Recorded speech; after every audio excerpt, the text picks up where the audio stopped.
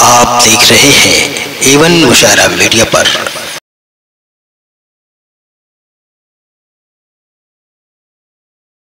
मैं इस वक्त एक बहुत ही मोतबर और मोहतरम हस्ती को आवाज़ देना चाहता हूँ। आपके कानपुर से उनका बड़ा गहरा नाता रहा है। यहाँ पर उनका कयाम भी रहा, जबकि उनके नाम के आगे लाहका दिल्ली का है। लेकिन कानपुर से उनकी नस्बत आप सब जानते हैं। एक ऐसी शायरा आमतौर पर शायरात मुशायरों में जाती हैं, अपना कलाम पेश करती हैं, लेकिन सिर्फ़ मुशायरों के हद तक। लेकिन एक ऐसी शायरा जिसने बहुत कम वक्त में वो मुशायरों में, बहुत कम उम्र में मुशायरों में आई और शायरी उसने ऐसी की कि सिर्फ़ हिंदुस्तान के हर उस बस्ती में जहाँ उर्दू बोलने वाले मौजूद हैं, वहाँ तक गई। उसके अलावा उसने अपने कलाम के साथ हिंदुस्तान के बाहर तकरीबन तमाम अरब ममालिक में जहाँ जहाँ मुशायरे होते हैं और उसके अलावा ऑस्ट्रेलिया और अमेरिका की बस्तियों तक जा करके उन्होंने इस कानपुर और दिल्ली और उर्दू जबान की जो कंपोजिट कल्चर है मुश्तर तहजीब है, उसका परचम ऊँचा किया।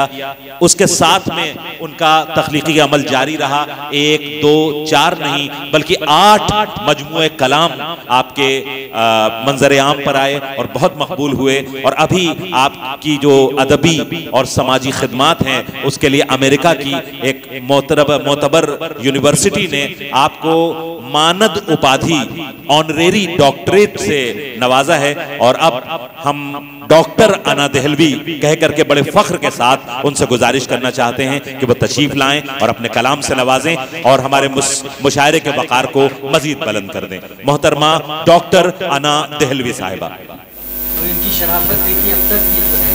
बेशक बेशक। एक बार पुरजोर इस्तेमाल फरमा दें। बहुत बहुत शुक्रिया। बहुत खूबसूरत मुशायरा। बल्कि मुशायरा क्या कहूँगी मैं आज का मुशायरा नहीं। इसको ये खूबसूरत महफिल खूबसूरत नशिश अब तब्दील हो चुकी है। और मेरे ख्याल में मैं नहीं आती तो मुझे बड़ी तकलीफ़ होती। क्या कहने क्या कहने? आज के मुशायरे के लिए मेरा जो भतीजा है वो जानता है कि मैंने खुद कहा था कि बेटे आप मुझे भूल गए। अपनी पुप्पी को तो कम से कम बुलाना चाहिए। भाई जिंदाबाद जिंदाबाद। इन्होंने बोला कि नहीं, मैं इसलिए नहीं बुलाया कि मतलब मैं सोच रहा था, पता नहीं पुप्पी आप एक तो बिज़ी रहती हैं, ऊपर से इतना ज़्यादा आपका जो है, ज़्यादा राह रहता है कि मैं दे नहीं पाऊँगा। मैंने कहा पुप्पियों को देने की ज़रूरत ही नहीं है, जब मैं भाई के लिए आ रही थी और उनके लिए हक भाई के लिए आ रही थी। हमारे सभी शौरा इकराम ने बहुत अच्छा कलाम पढ़ा। मेरे ख्याल में कितने नाम बताए थे आपने? सैंतीस। Thirty seven. उसमें चार रह गए। तीन और होना चाहिए थे। चालीस। और अली बाबा यही होता बेचारा। अच्छा है अच्छा है उन्हें क्यों छोड़ दो बेचारों को? कानपुर में और भी बहुत है माशाल्लाह। शायरों की कमी नहीं है।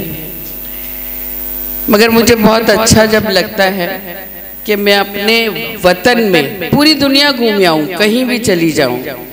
अमेरिका चली जाऊँ, लंदन चली जाऊँ, यूपी, पूरे देश में चली जाऊँ। मगर देश से हट के जब अपने आबाई वतन में आपको जब इतना कुछ पाने के बाद अगर सबसे ज़्यादा मोहब्बतें मिले तो वही सबसे बड़ा तमगा है मेरे लिए। डॉक्टरेट कुछ चीज़ नहीं है मेरे डॉक्टर बनना भी कोई बड़ी बात नहीं है मेरे लिए। मगर मोहब्बतें आपकी जो है उन्होंने ही मुझे आना दहलवी बनाया है। और मेरी माँ की दुआएँ अभी तक मेरे साथ मुझे उम्मीद है यकीन है। मेरे सभी प्यार करने वाले लोग हैं जमील भाई तो खैर मेरे साथ में काफ़ी हम लोगों ने सफ़र भी किया और जमील भाई मेरे बड़े हौसला बढ़ाने वाले भाई हैं। इजाज़त। सदर मोहतरम हमारे जमील। भाई से मैं इजाज़त चाहती हूँ सीधे सीधे। एक मतला और एक शेर समाप्त कर लें। उससे पहले एक चार मिसरे पढ़ती हूँ। दो मिसरे उर्दू की महफिल के लिए और दो मिसरे मेरे हक भाई के लिए जो मुझे यहाँ पढ़ने भी चाहिए। सुनिएगा। लफ्ज कागज़ पे सजाएँगे सजाने वाले। लफ्ज कागज़ पे सजाएँगे। लफ्ज कागज़ पे सजाएँगे सजाने वाले। सोचना छोड़ दे उर्दू को मिटाने वाले। सोचना छोड़ दे उर्दू को मिटाने वाले। ऐना कौन मिटा सकता है तहजीब गज़ल? हक भाई के लिए महफिल है। ऐना कौन मिटा सकता है तहजीब गज़ल? जब तक ज़िंदा है गालिब के घराने वाले। अरे भाई, जिंदाबाद।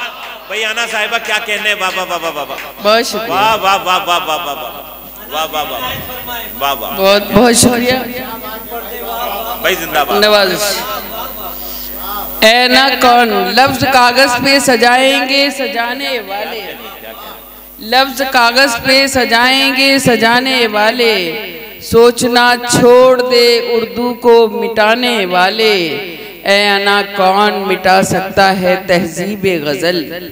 ऐना कौन मिटा सकता है तहजीब गज़ल? जब तलक ज़िंदा है गालिब के घराने वाले।